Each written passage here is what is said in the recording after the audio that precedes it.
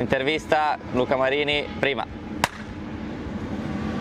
My rate for uh, this first half of the season uh, is 7 because uh, at the beginning of the year we, we struggled a bit and it was not easy but then uh, there was a great growth um, with good result, with good speed uh, and, uh, and pace in all the situation.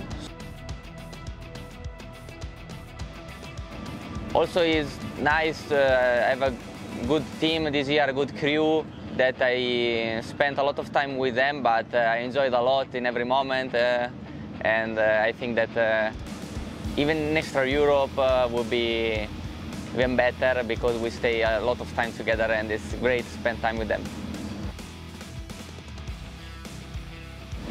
For be there for the fight for the podium, I think that uh, I just need a little bit um,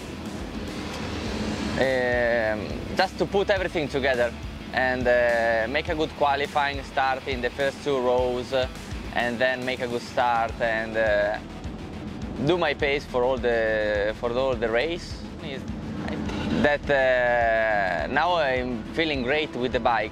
Um, just it's just the, the incredible the feeling of every, every time that I go on track uh, and I felt really comfortable uh, and I have the speed in all the situation and uh, feel these, these um, feelings, sensations every time that you go on track is uh, just incredible and is what I want because this gives me the motivation to work harder every day and try to improve myself in all uh, my weakness and try to be a better person, a better rider uh, in the future. My regret,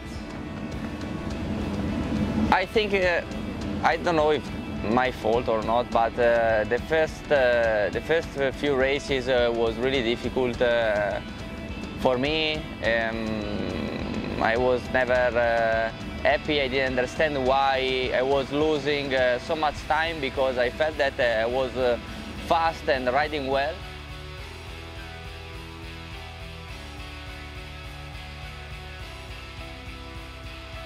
I think that uh, many riders could, could win in the future, in the, in the last part of the season, uh, could win race, uh, but also make podiums.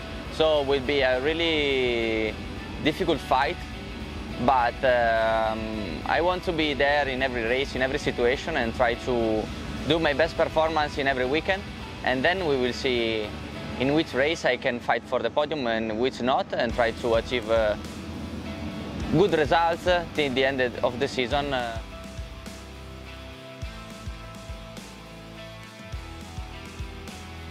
I think that MotoGP has really changed a lot compared to the, the past. Uh, compared also to the last three, four years, there, there was a big change.